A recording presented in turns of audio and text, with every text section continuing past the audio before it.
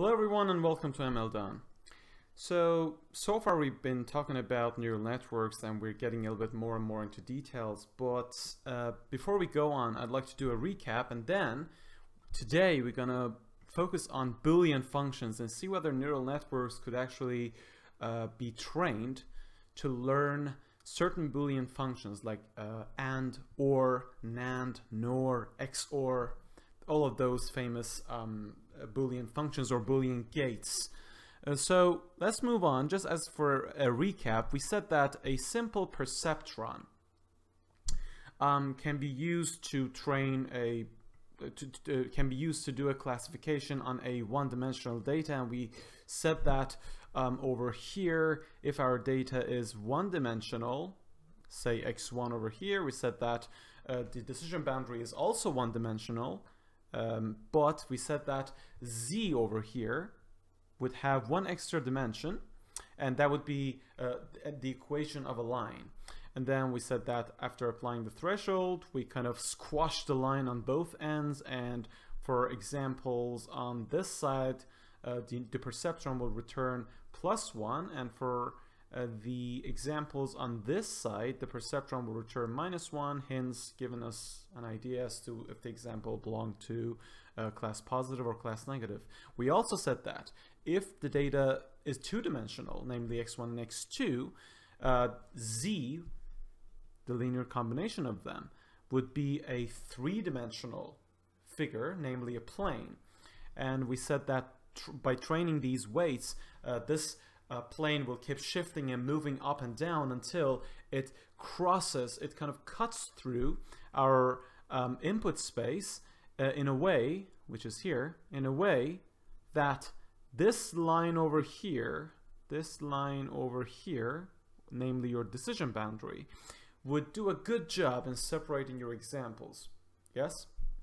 And then uh, after applying the sign function on z, we kind of squash this plane on both sides. Namely, for examples on this side of the story, uh, the perceptron would return a value, uh, the value would be plus one. And for examples on this side of the decision boundary, uh, the perceptron would return uh, minus one. And we said that if we go to higher dimensional data, the z would be called a hyperplane.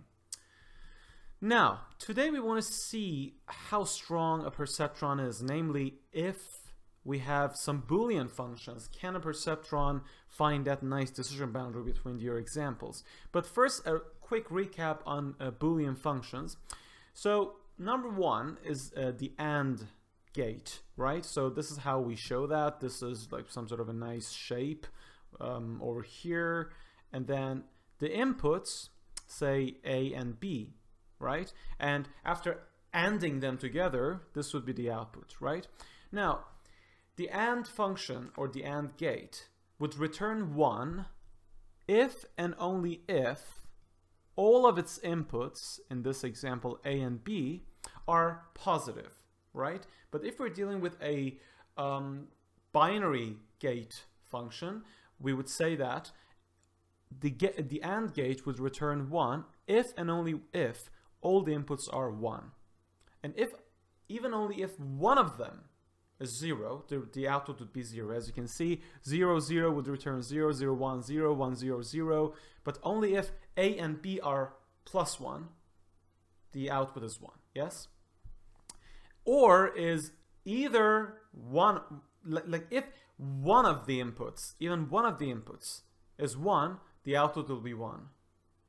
But only if all of the inputs are zero, only then the output of OR, this guy over here, would be uh, would be zero. So as you can see, zero, zero became zero, but in all other cases, as long as we have at least one uh, positive input, or in this case, one digit one, the output is always one. We also call these uh, A and B as, I mean, the the, the condition of them being 1 or 0 as true or false. So namely, for, get, for the AND gate, we would say the output is plus 1 if all the inputs are true, right? Meaning that all the example, all the inputs will be plus 1. And for OR, we would say that the output is plus 1 if and only if at least one of the inputs were 1. Right, so we can negate both of these. So AND will become negated AND or not AND. That would be NAND. And we can negate OR as well, and that would be not OR or NOR, right? So that is just flipping everything, flipping the labels, right? So if you look at here, the NAND gate is nothing but AB with a little hat on top of it. And NOR is nothing but OR, but with a big hat on top of it, right? So it's the result is actually flipped of the previous case. So anywhere, so previously with AND, we said that the, the output is 1 only if both, both of the inputs are 1. But as you can see here, in that particular case, the output is 0, and in all other cases, the output is 1. So it literally flipped the labels of AND. The same story with NOR. So with, we, we said that with the OR gate, if one of the inputs is 1, the output will be 1, right? But here, as you can see, in all those cases that we, we have at least one true value in our inputs, the output is 0. But only if we have no ones in the inputs, the output is 1. Now, look at this example. This is how I'm going to visualize this data, right? So remember, for AND, 0, 0 would result into 0. 1, 0 would result into 0.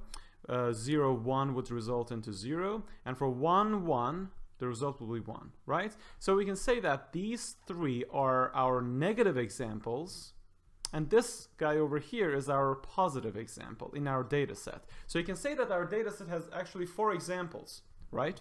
Three of them belong to the negative class and one of them belongs uh, to the positive class. And this is how I'm showing it. So this guy over here is when x1 is 1 and x0 is 0. So 1, 0.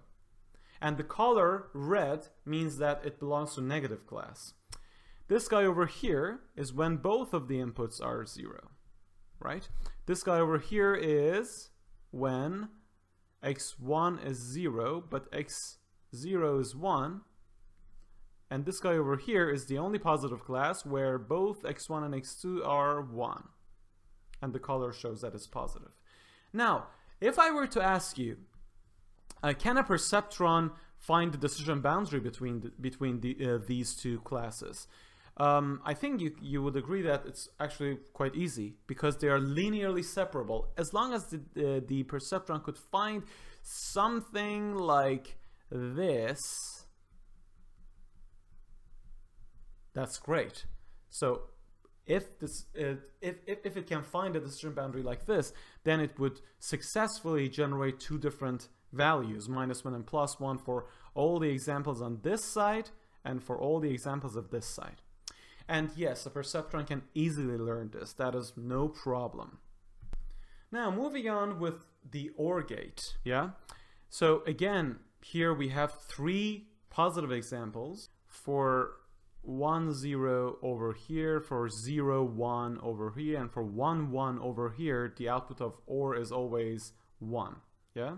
And only if x1 and x0 are 0, only then we would have a negative example, meaning over here. 0 and 0. Yeah? So again, we have this time three examples belonging to the positive class and one example belonging to the negative class. And as you can see, they are again linearly separable. A line like that, like, this yellow line over here, can be easily learned by a single perceptron. No problem at all. Now, what about the not AND gate or the NAND gate? As First of all, as you can see, uh, the examples are exactly flipped of the AND gate, right? So wherever we have positive examples, we have negative examples here. And wherever we have negative example in AND, we have positive example in NAND, in, in, in NAND, yes? So meaning that the only case in the NAND gate where uh, the output would be minus one or maybe not minus,